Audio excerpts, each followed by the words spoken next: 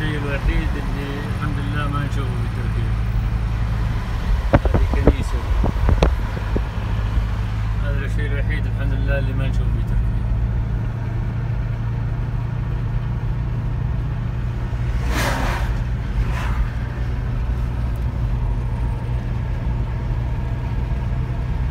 بصفة عامة جميع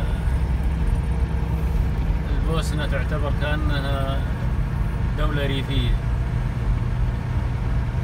قليل فيها مظاهر التمدن كلها قروية تميل للقروية أكثر. حتى تصاميم البيوت وأشكال البيوت عادية جدا جدا. يعني عبارة عن تقريبا كأنه صندوق وفوقه المثلث حق المطر بس. ما في أي آثار للزخرفة أو للحرفية